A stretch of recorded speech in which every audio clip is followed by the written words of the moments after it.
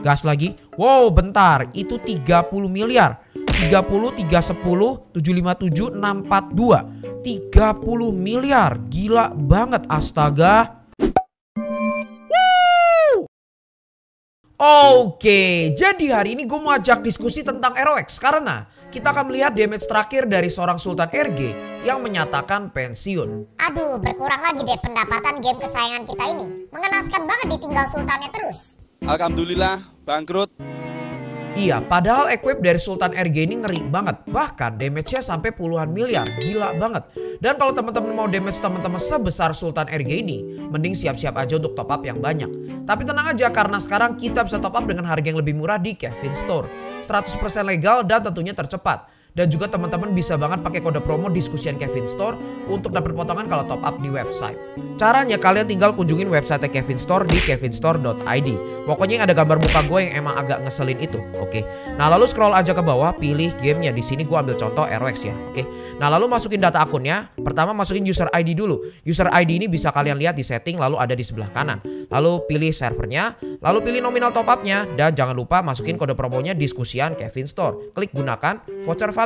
Nah lalu pilih metode pembayarannya. Terakhir tinggal masukin nomor WhatsAppnya. Selesai. Nah jadi langsung aja kunjungin website dan juga Instagramnya Kevin Store. Linknya udah gue taruh di deskripsi. Oke sekarang kita akan sama-sama lihat Sultan RG-nya. Let's go. Ya dan ini dia karakter Sultan RG-nya bisa dilihat di situ. Wow, dia level 130 dan HP-nya 234 juta. Sungguh sangat mengerikan. Kita lihat sama-sama equipnya dan ini dia equip yang dia pakai. Senjatanya plus 11, shieldnya plus 12, lalu dia pakai Odin set plus 11 rata, um, aksesorisnya plus 12 rata dan juga talismannya plus 11. Gila. HP-nya 234 juta, lalu physical attack-nya 104 juta dan di situ fit-nya 7800. Ngeri banget. Sekali ditampol pakai shieldnya, karakter gue langsung ke delete kayaknya. Uh, di mana ini? Apakah kita sudah meto? Tidak, tidak mungkin. Kita akan melihat equipnya lebih detail dulu. Ya, di sini. Nah, pertama dari senjatanya. Oke, kita lihat ke bawah sini, kita scroll. Nah, ini dia um, enchant dan juga cardnya. By the way ini gue bukan berarti ngerti Mandarin ya, tapi udah gue translate. Iya, karena seperti yang gue bilang, Mandarin gue itu super bodoh. Gue cuma ngerti wo i ersan wo aini. Stupid. Oke, setelah gue translate, enchantnya itu di sini yang atas yang dua itu adalah damage to angel monster plus 30% kali dua tuh ya.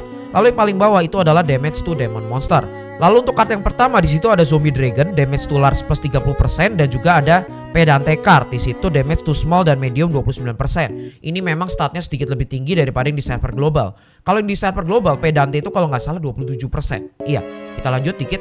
Oh, ini card yang bawahnya juga adalah zombie dragon knight, damage to large 30%. Oke, kita lanjut ke equip berikutnya offhand-nya, shield-nya.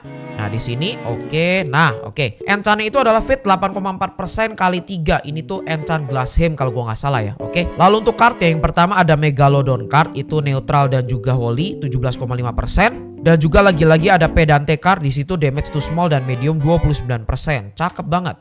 Oke.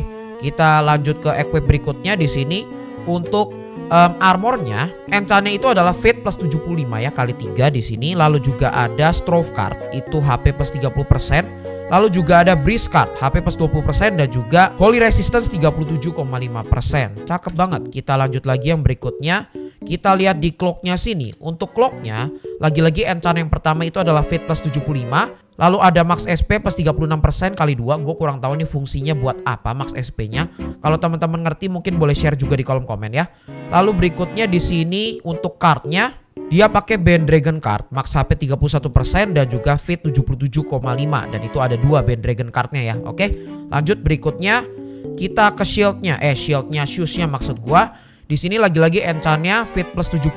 Lalu untuk cardnya ada Moonlight di situ HP plus 30% dan movement speed plus 25%. Lalu yang kedua cardnya adalah Zombie Dragon itu HP plus 48%. Ngeri banget. Oke kita lanjut berikutnya ke aksesorisnya di sini. Ya untuk aksesorisnya enchantnya itu adalah tiga-tiganya physical penetration plus 24%. Lalu untuk cardnya yang pertama adalah King Drama Void itu adalah physical lifesteal plus 15%. Lalu card yang kedua Storm Dragon Card Knight itu nambahin ASPD 85% dan juga haste 8,5%. Sejujurnya gue juga agak bingung kenapa dia pakai card yang ini mungkin ngejar set efeknya atau juga ngejar hastenya. Tapi dugaan gue dia lebih ngejar eh, set efeknya sih. Oke, kita lanjut ke aksesoris berikutnya ya.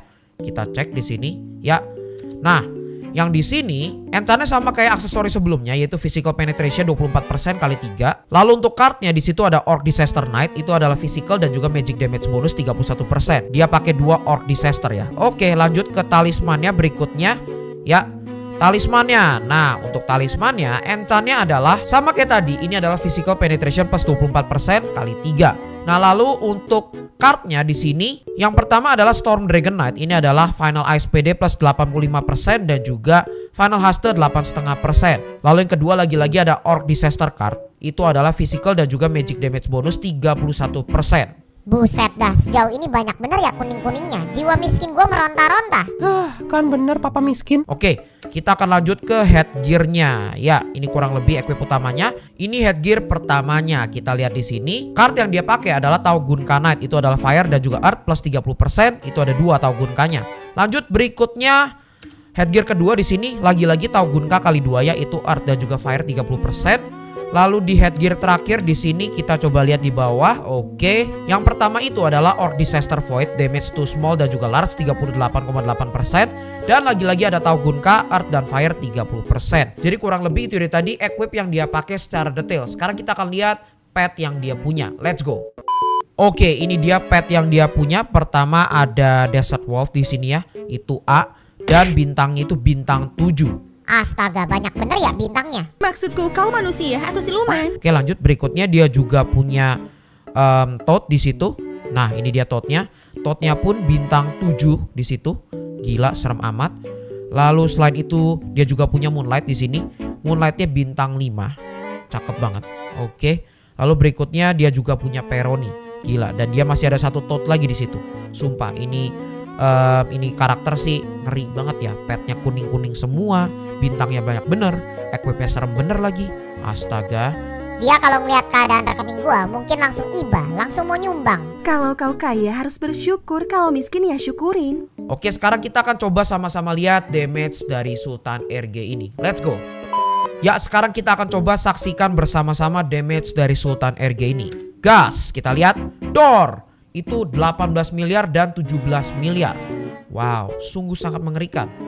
Gas lagi. Wow, bentar. Itu 30 miliar. 30, 310, 757, 642. 30 miliar. Gila banget astaga. 30 miliar bisa buat borong rumah 10 tuh. Kepala bapak engkau. Oke lanjut kita lihat. Door. Uh buset 25 miliar, 22 miliar dan 23 miliar. Ngeri banget. 24 miliar tadi. Apa 34? 28. Gila. Damage-nya ampun banget. Buset. Buset. Buset 14 24. Damage-nya nggak ada yang di bawah puluhan miliar loh ini. Gila ngeri banget. Hajar lagi 37 miliar. Buset.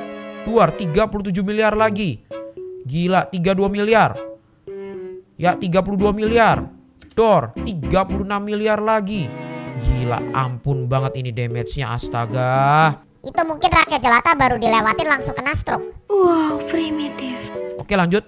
Ya lifestyle-nya pun serem ya 14 juta, 11 juta, 14 juta lagi. Gila. Keren banget ini Char. Sumpah. Ya kita lihat di situ.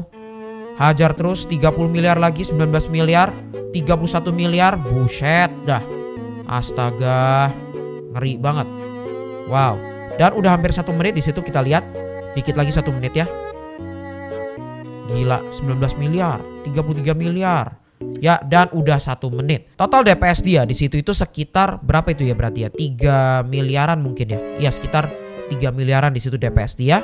Dan untuk total damage-nya Itu gua sampai bingung bacanya gimana angkanya kebanyakan. Bego lu bang. Lu bego. Lu. Lu bego goblok gua tolong bego. Tapi gue nangkepnya total damage-nya itu sekitar 179 miliar. Ya segituan selama satu menit.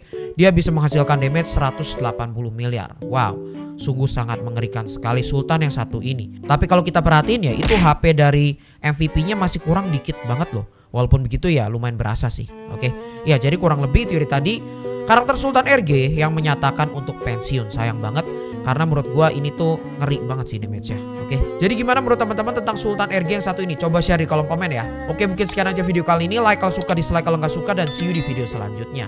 Bye.